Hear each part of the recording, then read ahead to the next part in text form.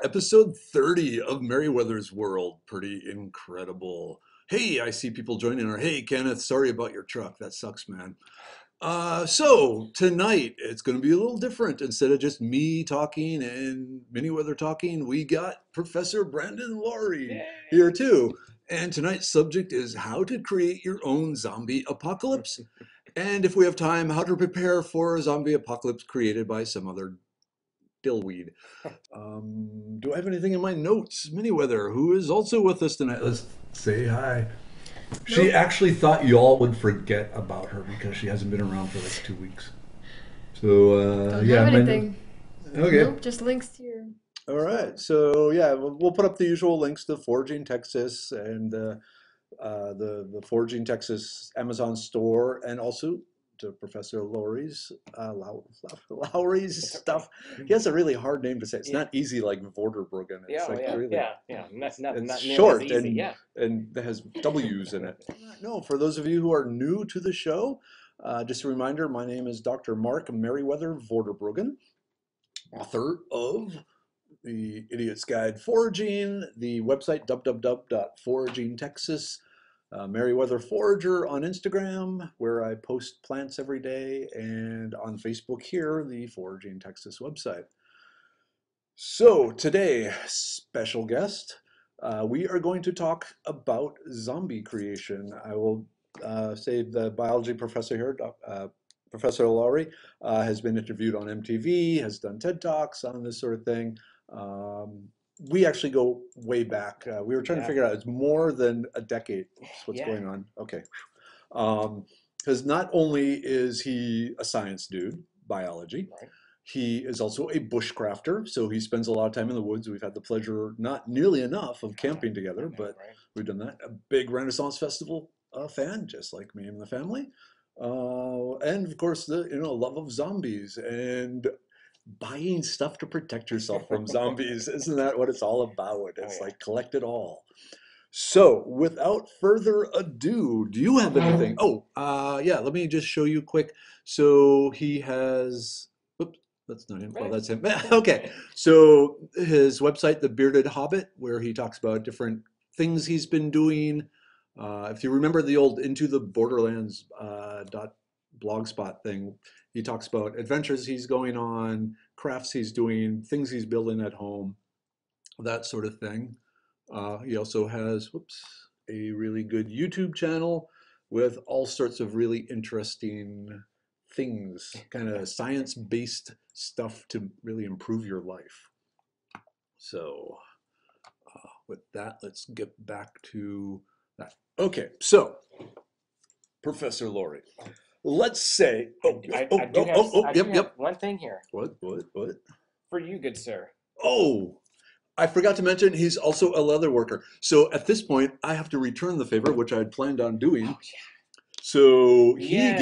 gets one of the foraging Yes. bandanas made by me and Nicole Eplion, and a lovely vinyl sticker Perfect. you can use to promote me everywhere. And I I was on the verge of actually purchasing one of these. I had it on my Father's Day list. Ah, so I was like, ha. yes. So yeah, so here's the thing: if you end up being a guest personage on Merriweather's World, you too will get a free bandana. You don't even have to bring me cool leatherworking stuff. This is so nice. It holds approximately tw- uh, 12 ounces, so it's a little flask. So Oh, yeah, and tonight's beer Oh yeah, is the Crawford Bach by Carbach. It's good stuff. yeah, it's pretty good. All right. So, Okay. zombies. Yes. Let's say hypothetically I am a mad scientist Okay. and I am tired of humanity and decide it's time to hit the reset button. I know there are, you know, a long mythos of zombies in history, but let's say I actually wanted to do that. I know there are different fungi and diseases that can affect the brain and cause different things. So, what are some of the ways a person at home, let's say with an Amazon DNA We kit, just want to brew something up. yeah, yeah, you know, Um, just a small apocalypse. You know, I mean, the the the closest that I've kind of looked at is is something viral based, uh, because viral based you can easily pass that on. I mean, I know a lot of people kind of jump to uh, kind of like what's going on in Congo right now Mm. with the uh, The- uh, the Ebola right uh, breakout. but even with something like that, like that's got to be pretty close proximity. But with the virus, there's a lot of uh, potential latency. Um, it can be uh, viable for hours just out. You could touch it on the table. Oh, like the norovirus that make Exactly, people you know. sick on cruises. Oh yeah, yeah. That's I've been on one cruise ship and I was nervous the whole time. I was going to get something and just be sick the rest of the the, the cruise. Um, but yeah, so something viral based probably. Um, I mean, there's a lot of other cool ideas. I know. Um, looking at something like a fungal zombie or something like that is Yeah. really an interesting concept.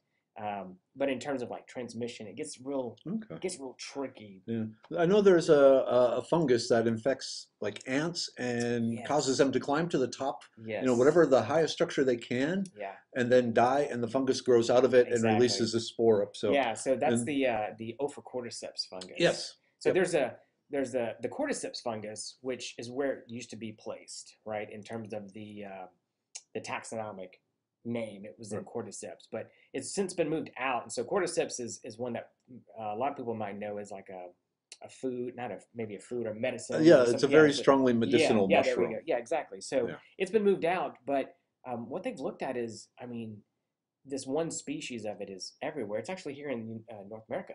Mm-hmm. Um, so you can still find some some uh, insects that have Mm. this growing out of it. Um, the game, uh, The Last of Us, um, is actually based off of that.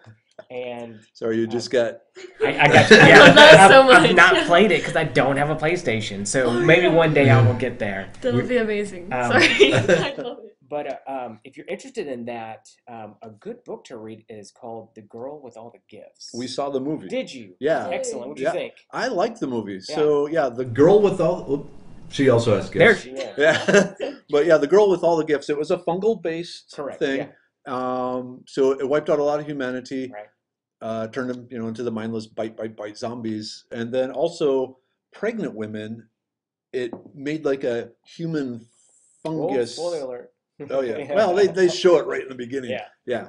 So, but yeah, uh, the girl with all the gifts. It's a really good, intelligent zombie movie. And the, yeah, if you if you pick up the book, it's a fairly short read, and it goes into a lot more detail that obviously Okay. you just can't Yeah. get, Get. into. Oh no, I'll have to check out the book then. Yeah, it's fantastic if you're into the the Ophicordyceps type fungus.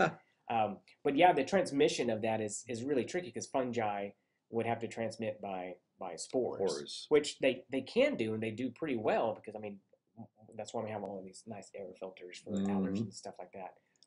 But we have a really good immune system against against that. Yep, So yep. unless it can find a lock and key, which is Which I was the mad scientist. there you go. That's the mad scientist part of it, and I'm totally okay with like saying, well, is that possible? Well, I mean, anything's So, kind of possible. yeah, you would. uh, really. You could almost graft some of the viral ability to penetrate a cell membrane. You know, the the markers Right. and stuff. yeah, Graft that. Oh wow, this is cool. Graft Yeah. it onto. Okay, Iran. Anyone Yeah. from Iran, please go away Yeah. now. Russia. Um, but yeah, you could do a weird viral fungi yeah. I mean, and and with viruses, I- mean, nature does that all the time, especially in like Yeah. pigs. Like, so I know everybody's out there like, what about swine flu or what about any kind of flu? A lot of times, like we can give pigs the flu. They'll pick up some other flu and Mhm. it mixes. Yeah, and they give we- it back to us, and then it's like, well, now we're off to the races with some zombie pigs. Who knows? I mean, at that point, Scary. All right, it looks like we already have a question. sure. Actually, people are saying the mic is having a little bit of an issue. Oh, no. Fluctuating and the volume is not quite there. Okay, maybe we just need to, because I got it Sorry. cranked all the way up. We'll just move just- closer. I can be a little bit closer. I want people to be able to Okay. hear you. Sorry about that. No problem. Um, yeah, this is why in TV shows they're always right next to each other. Yeah, right. 'cause, yeah, we, we're cheap. We have one microphone. Thank you, Tina. Um, just a reminder: after the show, uh, I'm I'm behind, but uh, I take the video from these broadcasts, clean up the audio, up it where it needs to be upped, and you know take it out, and then post it on the YouTube. If you want to pass, uh, post the YouTube link. Perfect. Um, so yeah, it'll it'll be on the Dr. Merriweather YouTube channel too. Mhm. Okay, so the the fungus. Um, one of the things in movies. That always happens is something you know, uh, as like World War Z. Mm-hmm. Someone gets bit, and you know, like in ten seconds later, they're a zombie. Right. Yeah. And that was that that an infection could not reproduce that no, couldn't. quickly. No, no. Um, you know, it, you can get into the literature and, and say get on like the Mayo Clinic or CDC website or WHO and kind of look at a lot of these uh, viruses or diseases and kind of look at symptoms and onsets and all that stuff. Um, but yeah, so World War Z is is extremely fast. Yeah. Um, but if you want to look for something at like a, a film that's as close to kind of a, a viral outbreak, um, Contagion. I've heard of it. I have not seen. Contagion is actually pretty pretty good. They actually um, asked um, a CDC. Sorry, I'm not looking at the camera. Um, um, they actually asked some CDC uh, scientists uh, how accurate was that film, and they said it's probably one of the most accurate films that would portray like an actual outbreak of some type of, of virus um, in terms of latency and, and kind of how long it would actually take. So that one, even though it's not a zombie movie, I say watch that one. Uh, that's a pretty good one because it at least kind of gives you the idea of how things get moved around and transferred. But yeah, it's it would take. I mean, it takes quite some time for a virus to kind of yeah, get into your body. you know, several It days. takes a couple and days, and and that's what's scary about it. Um, This can spread.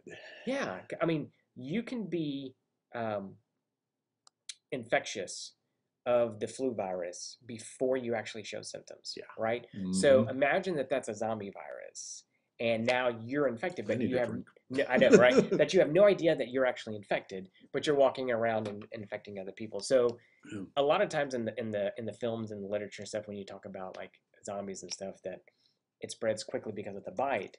I say it would spread quickly because of the latency that nobody would Mhm. know that it's even there until it's third of the population is already Already just infected. showing symptoms, right? Yeah. So what's interesting about this, I'm gonna I'll bring it up is um, I also teach uh, I teach biology, but I also teach environmental science.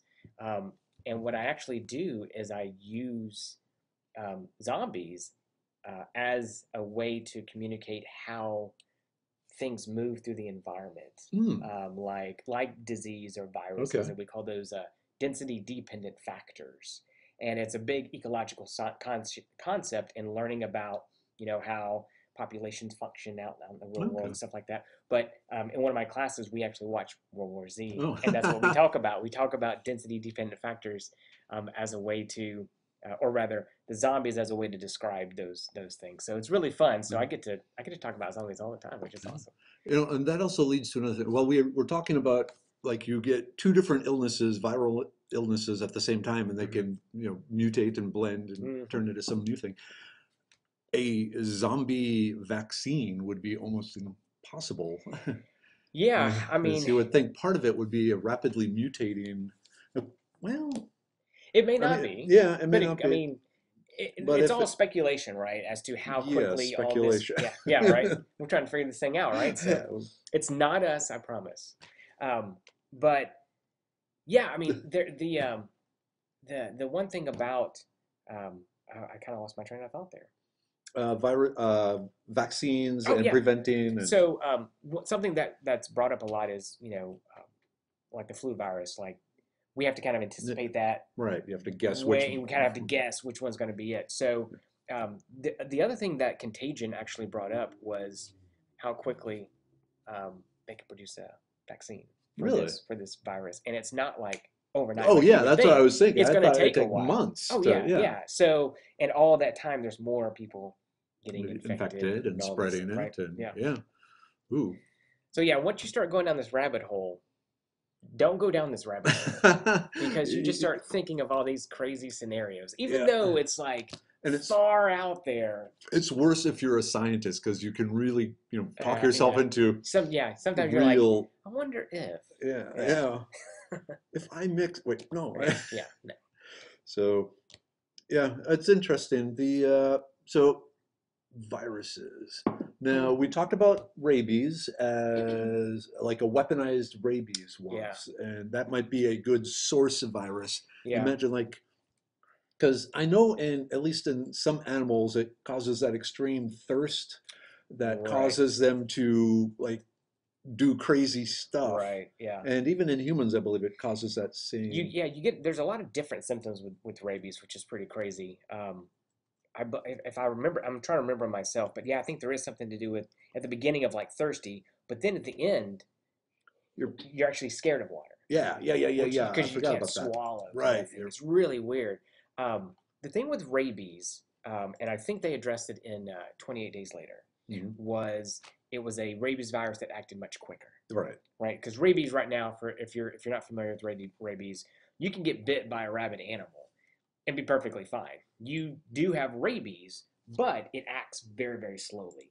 Um, so that's why you can go get a shot afterwards and you're Oh, you're fine. So, But if you're a bit closer to your brain, you don't have a lot of time left mm. before you get the vaccine. Not like you're going to die or anything like that, um, but you need to act very quickly okay. because it takes a long time. So if you're getting bit by the hand, which is where most people, it takes a long time for that to travel. So, is it the virus from the bite traveling, or is it infecting cells and they're it's infecting? yeah, it's infecting. Yeah. Okay, so it's a So chain it's reaction. Yeah, and it does. Okay. I mean, it, if I remember correctly, it, it, I mean, it'll move through just all your stuff. Yeah, and so that it's going to be an exponential growth too, because I mean it's doubling and doubling, and yeah. so you have a little bit of time, and then you have no time. right. Yeah.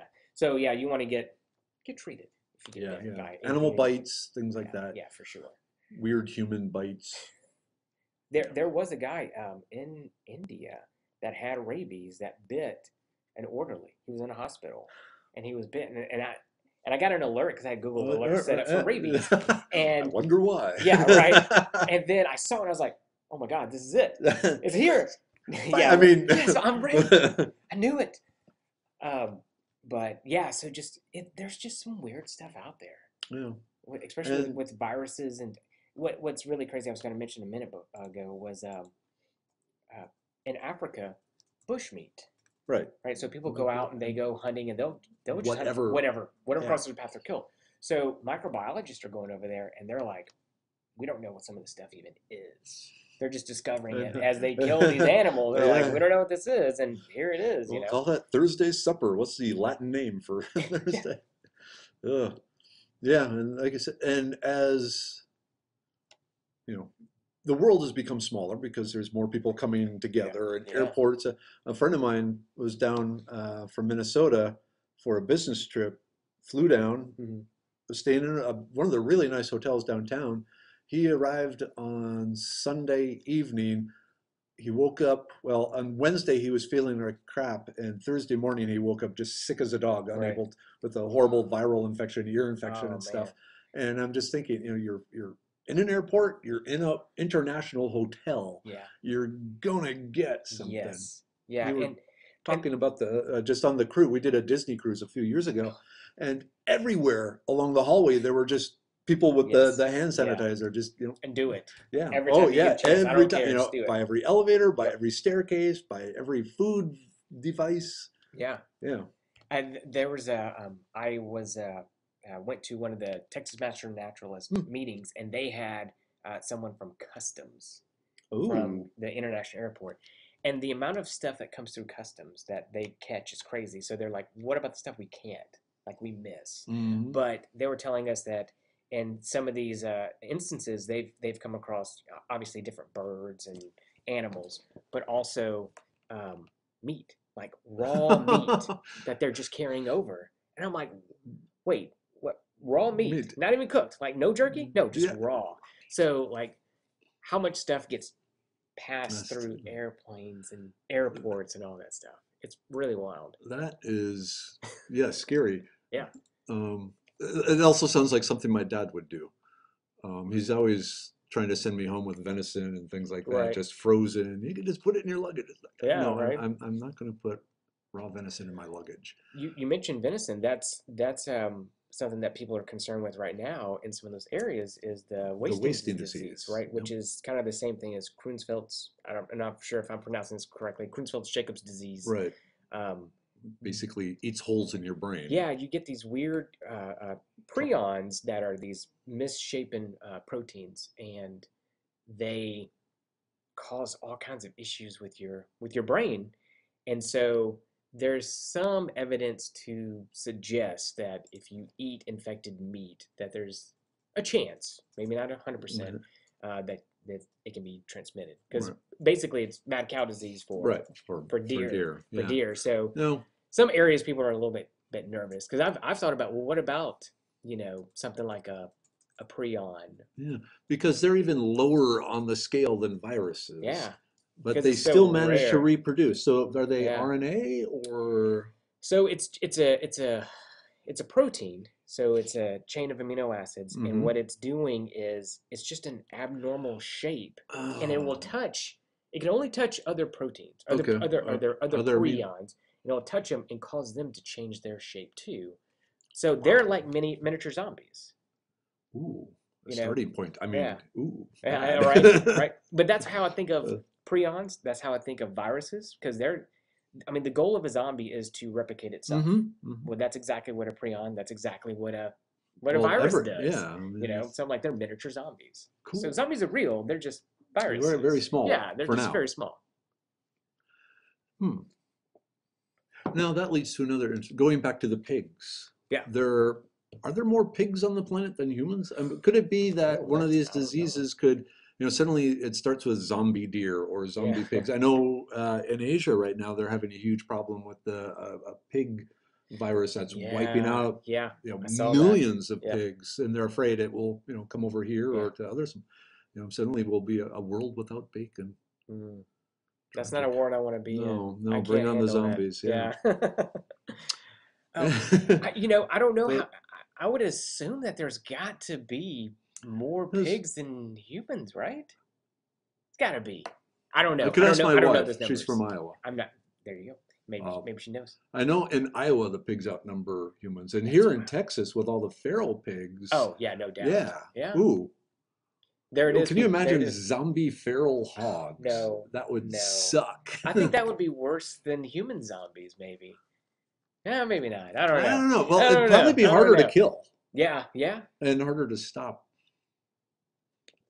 That'd be tough. Any questions? We got a lot. Oh, Oh, okay, oh, sorry, oh, sorry, okay, sorry. bad, my Every time I've raised my hand, it's Well, you gotta, you gotta Are like. we doing good sound? I think so. Yeah, Okay, everyone cool. seems to be fine. Okay. All right. So first one, what about special carriers? And then once the carriers are gone, Uh, so like the vectors, say like a Okay. squirrels or mosquitoes or something. So if we just look to kind of normal biology right now, there's tons of vectors of everything, but they're still around, right? So a Uh, lot of times point, they're not yeah. even affected by that. Like right? West Nile disease. Yeah. West Nile's still around. Uh, uh, rabies is around because it's it's just hangs out in you know raccoons or skunks or whatever Okay.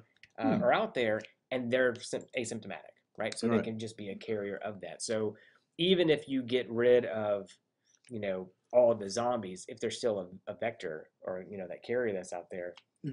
it could still be sitting out in the, in the population. Because they, they point out that it's not in the virus's best interest to quickly kill its host. correct. It wants yeah. to spread around. So the Yeah. best case is it infects one animal that it doesn't kill, but that animal then Yeah. goes around and spreads it to a bunch of Right. other right. things. So Yeah, I mean, and that's kind of the goal of parasites and everything.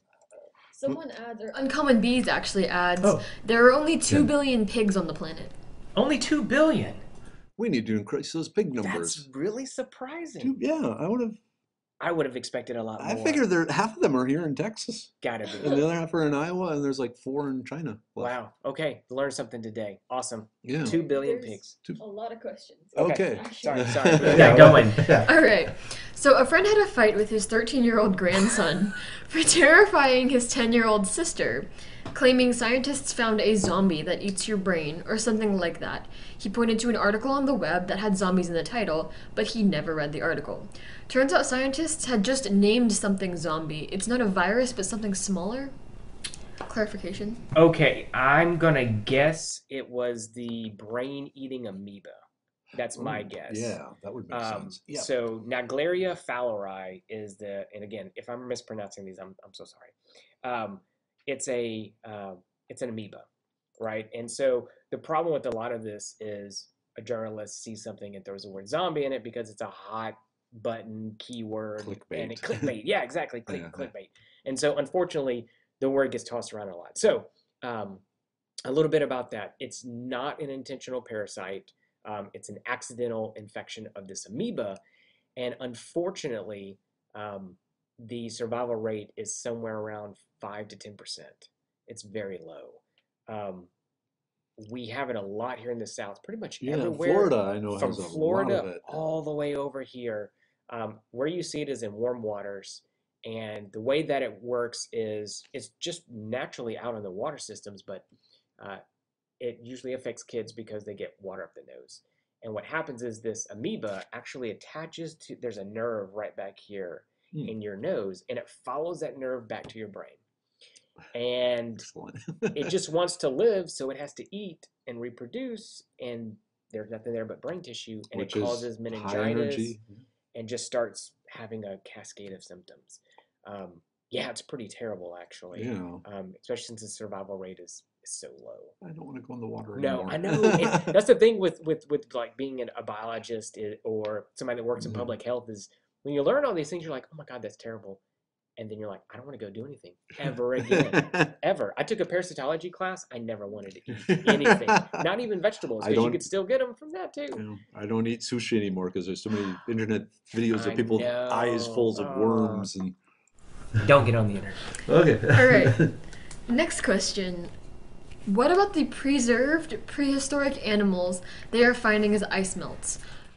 Is it possible that there are preserved viruses that could then be a threat? Oh, it's completely possible. Yes, absolutely. Yeah, yeah. And, and that is a protocol that the, the scientists do have to keep in mind Mhm. when they are collecting these samples and defrosting them and so forth and making sure that they can't escape because we have no defenses against it. Um, Yeah, I mean they're finding really good intact Yeah, mammoths and yeah. all these things. and that, recently there was the wolf, the prehistoric Yes, wolf. That was so cool. Yeah. That was And whenever I saw the picture, I was like, "Wow, that was really well preserved." yeah. um, Well, so even Otzi the Iceman. yeah, You know, it could have Yeah. been, you know, I've always I've always joked about like you know the curse of the mummy. I'm like, well, what if it was just some bacteria or virus that's just been latent in the pyramid for five thousand years, and somebody got it and they didn't have an immune system. there for was it, actually a theory on that that it was, Was uh, there? Okay. fungal spores. that makes sense that, to me. You know, that were they're from That's there. how zombies starts. Yeah. The Egyptians are coming back Yeah. to get us. Okay, what else? Any others?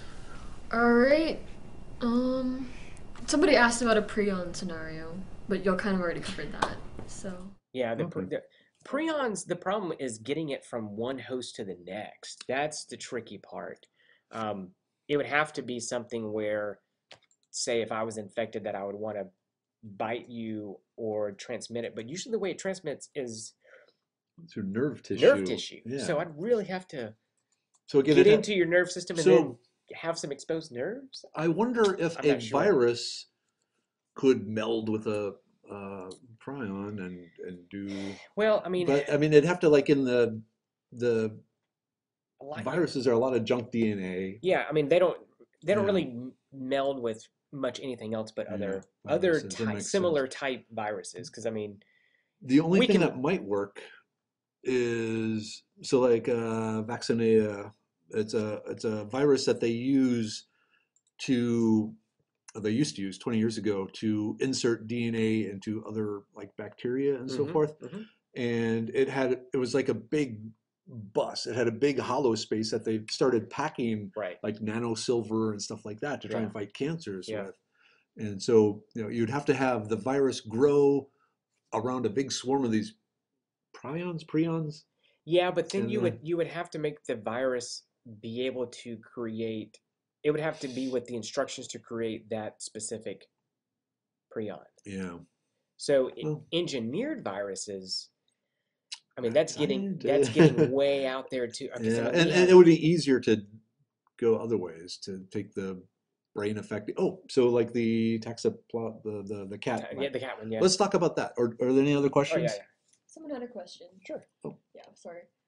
What about psychobiotics that are part of the brain gut microbiome axis? Ooh, good question. Yeah. Apparently, it's beginning to affect like people in depression based on Yeah, there's a lot of research that that shows or suggests at this point that uh, microbiome has a pretty important role in in so many different And things, mental right? health mental and a lot of health, other all these yeah. different things, which we'll we'll talk about the the cat one in just a second. Okay. yeah. um, and that'll that'll be our segue. But I don't know. I've not really spent a lot of time thinking like how Yeah.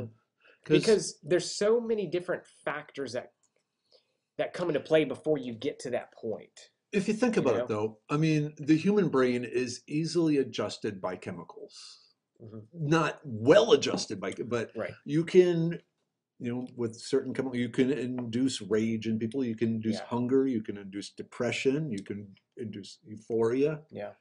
So if going back to say a genetically modified, um, you know, if you had like a a well, like a lichen, it's a fungi bacteria Mhm. mixture. Mhm. You have all the chemical factory abilities of the bacteria Mhm. combined with the penetrating spread of a virus. You could basically infect someone with an organism that then produces the drugs that would Right. cause you know The the trick with all of this is sneaking around our own immune system mm, because we have a pretty awesome immune system. I have a couple, keep going. Oh yeah. yeah, I was just gonna say, you know, you know, just trying to get we all of had a Oh yeah, yeah. Um, so it gets really tricky sometimes to get around that. right, um, right. So when you start combining so many different things, it's you it get more make- handles it for gets the yeah, you the get immune you get system to get it. more kind of recognition that that is not supposed to be here, kind of good, thing. good, good point. But I mean, we're we're onto something maybe. Yeah, but I, I wanted to mention because Yeah. I've shown the studies like a lot of the autoimmune diseases and the allergies and stuff that are coming Yeah. because people they're in too sterile of an environment, especially as kids. Yes. Like asthma is a big thing. They they've shown that, that asthma is almost non-existent in third world countries Mhm. and amongst uh, like the Amish and you know people that are constantly you know in the bacteria Right. in the dirt. They Yeah. they basically have a, a more effective immune system. So by keeping people away from the dirt, we're prepping them for a zombie apocalypse. So another reason to go forage and go- go out in go the dirt. get dirty. Yeah, Yeah. yeah, Play in the mud. Have your some- kids play in the mud. Have your daughters play in the mud, just to avoid lupus later on. Yeah, there's some really cool research showing that people that had uh, like pinworms, more infections of pinworms and stuff, had less allergies. And I'm like, is the solution to allergies pinworms? I hope not. Well, But the solution to Montezuma's revenge is tapeworms and food poisoning in, in general. So I don't know which one I want. yeah, don't tapeworms or, or, Or- yeah. yeah. I'm yeah.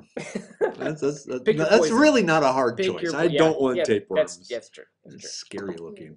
Oh yeah, Mm. don't look at it. It's bad. Okay, that was a mistake. Alright, we got another question. Is there anything with the pine pollen androgen compounds and an increase in human aggressiveness during that period? Okay, this is a question more directed towards me. So the, the pine pollen, it's very, very similar to testosterone Mhm. to the point that it, it can cause a testosterone replacement effect. And so one of the things I've often wondered is like when Houston is coated in the yellow powder, do the incidences of road rage Mm. increase? So imagine a ooh, a a bacteria that produces lots and lots of testosterone to just put everyone in a Yeah. hyped up, you know, roid rage sort of effect mixed Yeah. with zombies, uh, with rabies and. Yeah, especially uh, just thinking about that. Yeah, I, I never thought about it. That's a good question. Um, I mean, because we There's a book in here somewhere. Yeah, there really is, right? Um, so there is so much. Now, pine pollen, a lot of people blame um, allergies on pine pollen. It's pretty heavy. Um, people can be allergic to it, though, yeah, for yeah, sure. yeah, yeah. Um, but we get so in order to breathe it in, it's like I said, it's pretty heavy. You kind of have to get into it, but we get so much that of course we're gonna breathe some of that in. I've never thought about that. I don't know. That's interesting. Okay, so all we need is a virus that increases testosterone, Or a bacteria that produces it. right? or the- Well, actually, no, it'd be easy because like if you if, if you reprogram, well, you'd have to have it, you know, target the, I guess the pituitary gland. Yeah, did you want to? The... You'd have to start changing hormones. Could you? I guess if it was a big enough DNA, you could, you know, your skin would start producing a Yeah, and that's the thing. viral like, form of testosterone. What What's really interesting is like you know we're we're playing these kind of scenarios out. Like you need a little bit of this to do this, but when you watch like some of the zombie films, like it has a huge just reaction on the whole body, not Mhm. just aggression, yeah, but it's decay. yeah, you get decay, you get all this kind of crazy stuff, and it's it's very odd. Well, if you th- I'm but if that's the, a if, lot if of the, if, but think if the DNA is now eighty percent committed to producing more virus, not repairing the damage. Yeah, I mean, that would add up. I'm just saying, like so it'd be like- quickly, like, those yeah, quick yeah, changes. You're like, yeah. what? That, that yeah. Good point. Good point. I was saying it's like full body scurvy sort of thing. Do we have a Got question? Another question. I think people are like, are you liking this episode? Because I'm having fun. Yeah, this is fun. All right, my family is battling what seems to be a stomach flu, which coincidentally happened after swimming in a lake in East Texas. Could that be related? Linked. Very likely. Yeah, I if think you got it, yeah. I mean, in Boy Scouts, we'd call it beaver fever, Oh, where if you drank some bad water from a stream Yeah. or something, there's all sorts of protozoa and giardia in there and things that will give you Yep. s- stomach flu. Um, yeah, stay hydrated. Yeah, 'cause Boil that- some oak galls. Yeah, if you, yeah. If it's more than a couple of days, I'd be a little Yeah. nervous then. Yeah. Yeah, and, and don't puke up your nose. I don't think this is actually a question, but she brings up a really good point. Miss Curie Hyatt says mountain cedar pollen plus a cold virus. Okay, so Because the cold would attack you. yeah, Kind of um, makes you feel bad all over. you would just feel really bad. It's not going to blend in a way. I I can't see how it would blend in a way to Like an become allergy a plus. a cedar virus. No, I mean like an allergy. I think she Oh, means okay. plus like a Oh. cold virus, a flu, Yeah. something like that. Well, the issue that with sounds good. that is if your immune system is weakened, all the other viruses that are hanging out in your body can start, you know, they're no longer being battled. So then they can start reproducing. You get the chance of a cell being infected with two different types of viruses or more. Yeah. And then you get some different mutations. So, Yeah, what's what's really interesting and, and also frightening is we actually have a lot of latent viruses Mhm. and viral DNA in our own DNA that we've had for millennia. millennia. Um, if you've had chickenpox, you still have chickenpox, Mhm. right? It's just hanging out. Polio. Um, oh yeah, my, right. my father had polio. It's still it's still there. affects him, yeah, to this day. So, what if, kind of like The Walking Dead? In The Walking Dead, the premise is everybody has this, but when you die, it resurrects you, kind of thing. But I'm like, well, what if that's kind of the case? We have a this this DNA that codes for some type of zombie virus that we're walking around with, but you don't have to die. You just have to get some trigger, or whatever just that might weakened be. enough where your body can't and then fight it. and then all of a sudden everybody everybody's a zombie now. I guess if everybody's a zombie, it won't matter. Probably not. Yeah. I won't be a zombie. All right, that's the end of the questions. Okay, cool. All right. Um, So let's go to the cat virus. Yeah, yeah. Yeah, because it's fascinating. So um, there is something called uh, Toxoplasma gondii, and it is a uh, protozoan, and most of us have actually had it before. Uh, most of the world's population has probably been infected with it, um, but because we're healthy and we just shed it and we get rid of it, we're good. Um, however, not all people um, have that it stays with them quite some time. So there's some evidence to suggest that it can affect uh, our own behaviors, right? So um, the the normal biological cycle is it goes from rats to cats, and what happens, as we were mentioning earlier, is a rat or a rodent that is infected with it kind of loses its fear of cats. So then it just will wander up to the cat and just kind of hang out. Well, the cat eats it, gets infected, and then it passes it in its feces, and then it comes into contact with the rodents again, and then the cycle starts back so if over. you're cleaning the cat's litter box. so the concern is if you're a pregnant female, this is probably where you've heard it, uh, you're not supposed to change the, the kitty litter. Mhm. Um, because if you become infected with it while you're pregnant, it can't have an effect on the developing fetus. Um, so that's kind of scary. But it's not just cats. I don't want to be like anti-cat or anything like that. Um, I'll I'll defend cats for a little bit here. Um, you can get it from eating uh, undercooked meats. Um, you can also get it from like in the garden, like going through dirt and stuff like that. Um, but most of us don't have to to worry about it too much. Um, cats, if your cat is indoors all the time and you don't have rodents, yeah, you're probably Right. don't have to worry about it. It's more about them killing something and then bringing it in the house. But- I- What I was going to say was what's interesting about this is when we think about how we do drug research, we do it on rodents a lot of oh, times yeah, because it's so similar to our own system. Maybe not, it's not exactly the same, but similar enough and they're cheap. and they're cheap, right? So whenever they started realizing that this had an effect on rodents, the question became, well, does it have an effect on us as similar And mammals? my understanding is it does. Yeah, there's some, there's some, there's, there's a couple different research papers that came out. One says no, we didn't find anything, and the other one said, yeah, we kind of found something. Um, more study definitely to be needed on this, but it seems like there might be something to this that people have, that have these infections uh, that can't get rid of them or that they're constantly being reinfected have a higher incidence of risk taking. That's what I've Uh, heard, like yeah. the base jumpers. Base the- jumpers, yeah, uh, maybe a higher incidence of, of uh, suicide or dementia, uh, promiscuity Yeah. um, car accidents. Um, there's even a paper that came out that said um, people that are more likely to be entrepreneurs or businessmen Yeah. I- also have a higher incidence of this infection, either that they've been infected recently or they still have that kind of I infection. around, suppose which is interesting. It would be against medical ethics to sell the bacteria. You want to be an entrepreneur? Here's Yeah, take take this. yeah. this, I, this I, I could see like Las Vegas going. Well, let's just put some in the water, the shall we? yeah, right? So we can talk about like you know dementia was one that I thought was really interesting because we kind of make the comments the crazy old cat lady, and in my mind I'm like, well, what if she's just constantly being reinfected? Because of her cats. Ah. Maybe that's part of it. I don't know. Again, Yeah. this is all speculation. I've you know, not done that I'm just- research. There's other researchers out there doing that. I'm just picturing the crazy old cat lady risk taker doing. We're, you yeah, know, doing like- skydiving with their yeah, cats or, or, something, you know, or right? you know, train surfing or stuff. Uh, okay, we had a Oh, question. sorry. How do zombies keep moving around when they're dead and metabolism ceases?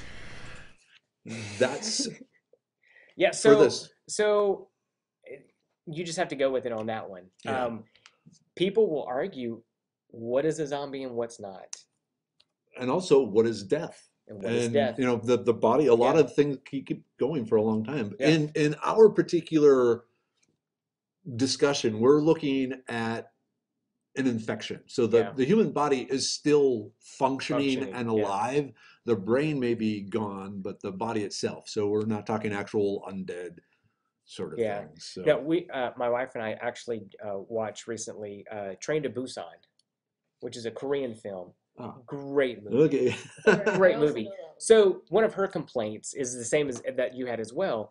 Was there were these the zombies fell off the building, really high up, crashed on cement, got up and walked off, and she's like, "But they would be pieces Yeah, you'd be or- pe- like, even your though yeah that- your yeah. body's animated, your bones are broken, your muscles can't Mhm. work." So Yeah. we kind of went down that rabbit hole of like why that's not real, right? So with those zombies, you just kind of have to like roll with it and be like, okay, I know it's fake and it's all fun, but yeah, I'm not a, I'm not a big like you're dead, you're decaying, yeah and you're still going. Like my my argument that I see a lot like is the disembodied hand yeah, just keep going, uh, not gonna happen. Um, is uh fast versus slow zombies. I always said if it's a newly infected, it's fast. Yeah, If it's, an gonna old, it's slow, and then if it's dead, it's it's, really you know, old. Loot the body. yeah, it's not doing anything. Yeah, loot the body, see if you can find some treasure in there. Yeah, just just you know, spray it with Lysol or something first. some bleach. Mm-hmm. Question? Yeah, we got another one. Do zombies continue to rot? And what holds them together if they rot? I assume like ligaments. and things like Now that Yeah. would be interesting if. tissues.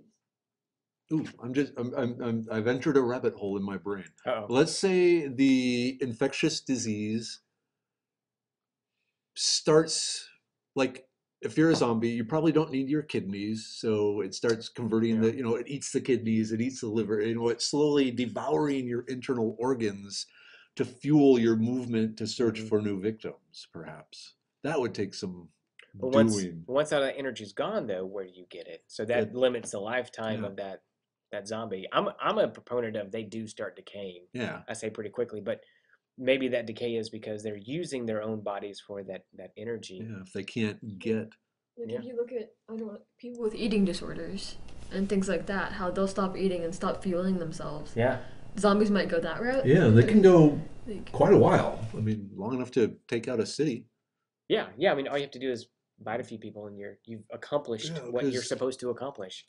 without eating, you can still, you know, go. Yeah. Ba- The the the problem would be drinking water Yeah, that's a good. Well, I because mean, that if, would that would kind of limit you to about a three days zombie If- life. if then- you are a successful zombie and you're biting people and you're drinking, blood. you're getting blood. That might. I don't know if it's enough though, and there's the Yeah. salts and all Yeah. that. Well, we, we need to start. Well, I mean, if you're Mm, drinking I mean- blood, it should be isotonic to your own system. But if you digest your own stomach, You On your know, inte- 'cause you need your the- intestines to do- yeah, I don't know. We're running into the anatomy problem of, of Yeah, zombies and, and so th- this leads me to think the the lifespan of a converted zombie is no more than three days. yeah, yeah, That's, that's, that's I'm going to put from a scientific point of view because three it day- stops yeah. drinking, even if it's drinking blood. I don't know if you know if especially if it's decaying and, and Yeah, so forth. It actually probably won't be very decayed at that Yeah. point. I mean, it, it's and if it is using up its its organs, it is eating without drinking. Yeah. So it's going to use up its own fluids. Way more, so yeah. they're going to be like desiccated zombies. Yeah. Zombie jerky. yeah.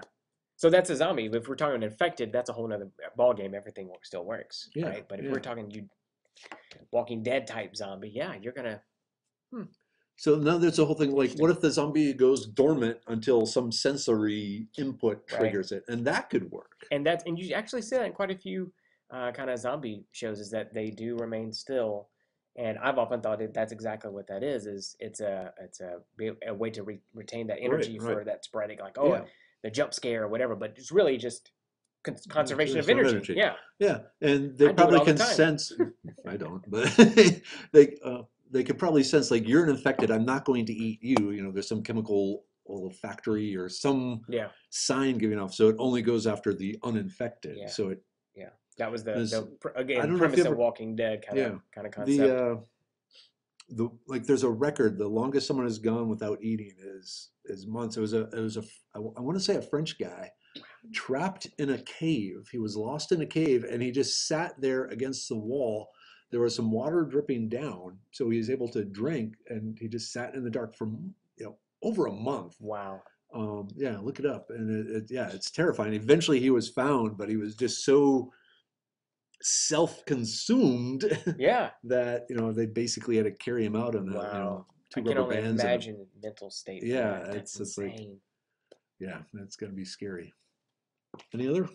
Someone asked about flesh-eating bacteria.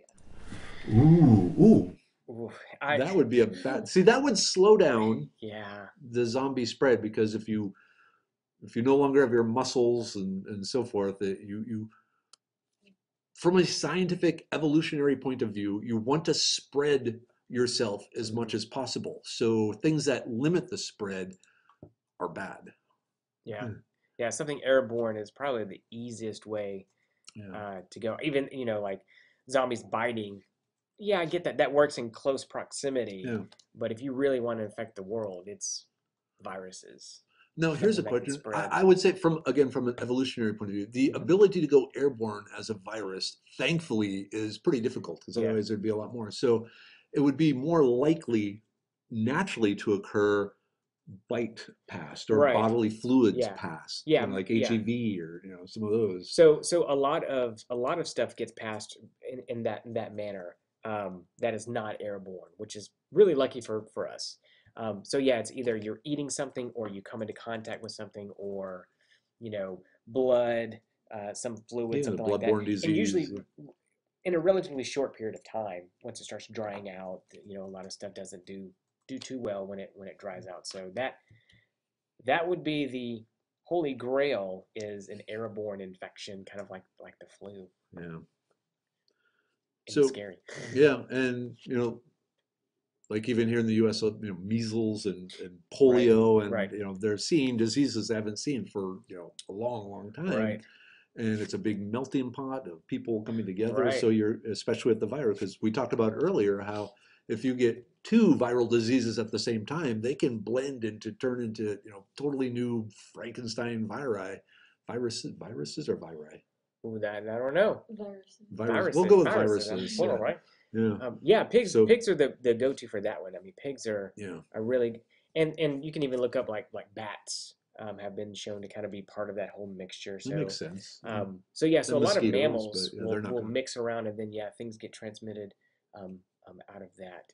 I'm, I'm I don't know of any, and, and I'm, I'm sure there could, there's been research on this about how similar viruses have to be inside humans That for them makes to mix. Yeah, because there are Because know are in- families, you know, it's like even plants can't, you know, if they're too far apart. yeah. So Um, I know in pigs, I think there's a little bit more leadway for those, but I don't think there's all that much either. I need to look into that. but but again it's one of those things that you know when you're dealing with something like that I mean, nature's constantly mixing things up. So who knows? You know, Two what pigs to experiment Two with. billion pigs. There you go. I mean, I mean that's two billion experiments time after time. We actually have some really good questions. Oh, good, good, good, good. So, what about zombies in environments without oxygen or atmospheres? For example, zo- zombies walking along the ocean bottom or in space. I'm going to say they die, like dead, dead, because you know the the oxygen you need it to fuel the energy that allows your muscles to move Yeah. and so forth. So without oxygen constantly being replenished, your system shuts down. Yeah, I mean, again, if we're talking just infected, yeah, I, I'm not a big fan of like space zombies. Although that'd be a great movie, I totally Ooh, watch ooh, it. Yeah, I would too. Um, but there was a movie back in the 70s, I believe it was called either Zo- Zombie with an Eye. I don't think it was Zombie 2, but yeah, Zombie with an Eye. I forget the, the director's name. Anyway, there was a case of a zombie walking across the bottom of the ocean and he fought a shark. So I pretty think I've awesome. seen that Yes, one. That's awesome. it's Yes, Great, great. yes. I saw uh, Ruckstall in there. Yeah. This nice, nice. Then someone asks, why would or wouldn't shooting a zombie in the head kill them? In the brain. Why would or wouldn't? Hmm. Well, okay. We're, we're, we're thinking here. Um, so my question is, how much brain do you need to continue to walk forward? Like, what parts of the brain could you go by with just the brainstem, you know, to, to move? If you are, I guess, once you knock them over, would they have the ability to even stand back Yeah. up? And I guess it depends. I'm going to go with it would have the same, it would have a less effect than it would shooting an uninfected human. I think you would have a better effect, you know, shooting a human to try and kill the human than shooting the zombie in this in the brain unless you took out enough of the you know things like the control the involuntary muscle system um, and the you know, the feedback for walking and so forth they they may not kill it they might just drop to the ground and not be able to do anything until you walk by and it does the old reach out Yeah, right, right. thing Yeah, I'm saying any little bit of damage, I think, to the to the brainstem, I'm going to say that's going to that's going to uh, do a number on him. I think. yeah I would- so shoot for I'm- the neck rather go- than the head I'm going to say if we're looking at kind of classic zombies, I don't want to say classic zombies because there's so many different types. That if they're already somewhat impaired, and then there's a little bit of damage, I'm going to say, is as long as you're getting in that brainstem area, yeah, you're you're pretty good with them being maybe not like you said incapacitated 100. percent um, But yeah, I mean that's that's going to be it for them, I think. yeah Unless you kind of walk up and are you are you alive? And, Yeah. "Oh my God, there it is." Yeah, I mean, after you drop them, put a couple of rounds Yeah, into the back double of their neck. Double Double tap. tap. Yeah, Exactly. Always a exactly. double tap. Any others? Nope. Okay. Um. Wow, this went fast. Seven That minutes yet. go fast. Wow. Isn't this fun? Yes. I love yes. this. I Yeah. love just chit chatting and talking about zombies and stuff yeah, like that. yeah, so yeah, much fun. and, and scientifically, and, yeah. and yeah, and it's it's interesting. So, do you think there are any people working on something like this in the world? I hope not. Yeah. Uh, no, I don't. I mean, I- I feel like there's there's more things more dangerous than say a zombie virus because the infection would be from from me to you. Like, why not just brew something that's airborne that Okay, you can yeah. easily spread from person to person? And so if it's like I said, if if it's something that I have for a long time, but I'm not symptomatic, but I can be infectious, that's kind of the go-to right there. You know, something that we can't really Yeah. fight off. You know, we, guess- we talk about like bird flu. We have a really tough time managing bird flu in our own own body because our Hmm. immune system doesn't really do well with that. So something like that Yeah. is more frightening to me. I guess. Yeah, so I guess if your if your goal, because it's a it's a non-targetable weapon. I mean, you release it and it Yeah. just kills indiscriminately. So you have to be kind of a doomsday person to begin Yeah. with, trying to bring about the end of the world. And then why bother with zombies other than it's just kind of entertaining? Yeah, like, it could, yeah, it could be we'll give the human race a fighting chance, Right. you know, as opposed to just everyone you know pukes their guts out and dies. And one of the things that that I always think about and I, I joke about, but I'm kind of serious about too, is like if there is, let's say, a zombie apocalypse and someone gets infected, mm-hmm. don't shoot them immediately. really, Here's why. this is going to be interesting. Yeah, so uh, I, m- again, my, after we watched Train to Busan, my wife was like, "If I ever get infected, because we talk about weird stuff like this." Every husband and wife yeah, does. yeah, we have this conversation. She says, "Shoot me before I turn." I'm like, "No." She's like, "Why?" I was like, "What if you're the one that's immune to it?" She goes, "Okay, shoot me Mm, after I turn." I was like, "Okay, I can do that." Yeah. Okay, that Um, makes sense. So 'cause- because there's immunity out there, right? yeah. So some people may become infected like Ebola, like your survival rate is 50-50, uh, right around Oh. that. Um, so there are people that um, have some immunity to that because they survived it the first time. So now they have like there's an article that said like 40 years later, you survived Ebola then, you're still immune to it. Cool. Yeah, which is pretty crazy. So every time I watch like Walking Dead and somebody gets bit and they just cap them, I'm like, no, that person could have been Yeah, they, they the cure, but you just shot him. So you never know. Oh wow. Okay. So wow. Okay. Eight fifty six. Let us jump over, and I want to run over to Amazon here quick, and just do a link. So we didn't actually get to uh, talking about preparing yourself for the zombie apocalypse. Oops. It helps if I could spell. Hey, wow, it's smarter than I am. yeah, he knows what's up.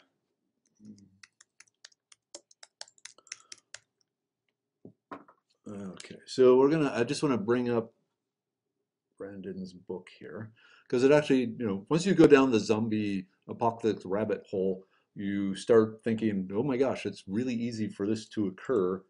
Here we go. How do I protect myself? And he wrote a book on it.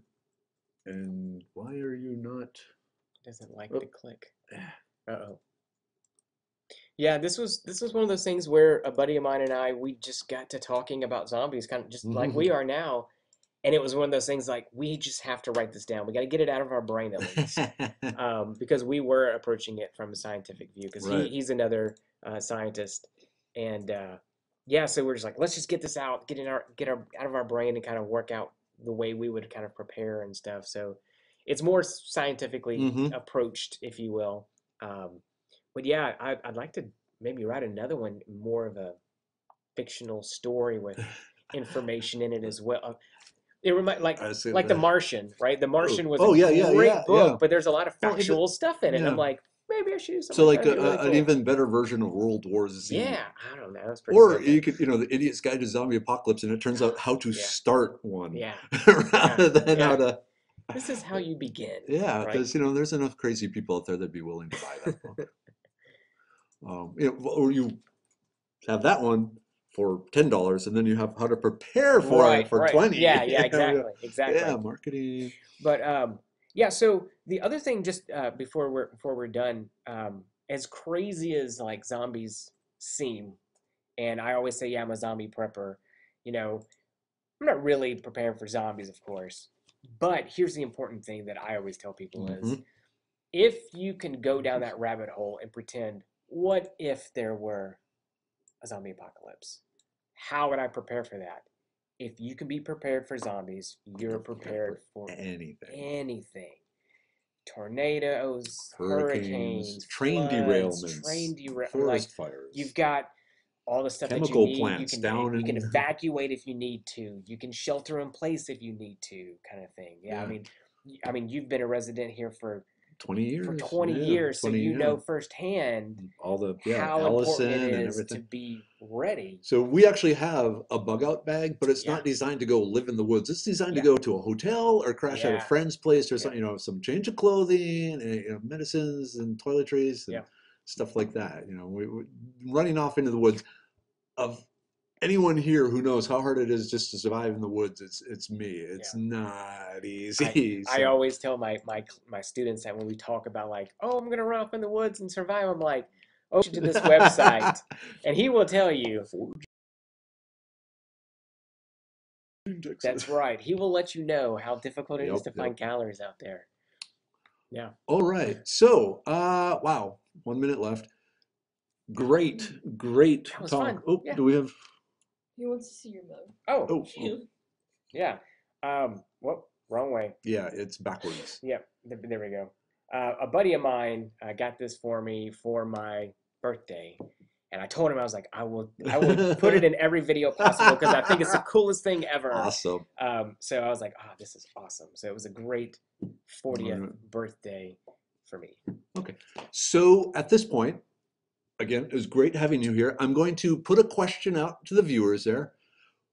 Would you like us to continue this discussion now and talk about zombie preparation preparedness? Hmm. Or should we find some new topic to move on and some other, get- you know, you know, can, should I Mix it bring, should I bring Professor Laurie back or? I feel like I'm on a game show here, yeah, right? yeah. You made it through round two Round now Okay. but can you go the whole distance? So uh, I know next week I was looking. Yeah, we need some planning. You can't just show up every Oh, weekend. yeah, right. Yeah. Um, next week, I if those of you who follow alone may have seen uh, Donnie Dust, who was considered to be one of the potentially strongest players ever, tap out in eight days uh, due to eating a bad muskrat and coming down with horrible food poisoning. Mm. And so it seemed uh, it might be worth talking about first aid in the wild, plants you can use to deal with things like dysentery, cuts, burns, that sort of thing. So next week will most likely be wild first aid. Um, and then who knows what happens after that. But uh, yeah, we will try and get together again and do this again. Yeah. Cool. Cool. All right. Uh, anything else from the Merriwether? Nope. Okay. Uh, words of wisdom this week wash your hands. Yeah, wash your hands a lot. Ooh, and perhaps even use Workman's Friend Barrier Skin Cream. I can't guarantee it works against zombies because they won't let me have them in the lab. Um, but it does protect against poison ivy, which is almost as bad. Yeah. Okay, at this point, I'm going to start hitting buttons to shut this down. Thanks for watching. Thanks, guys.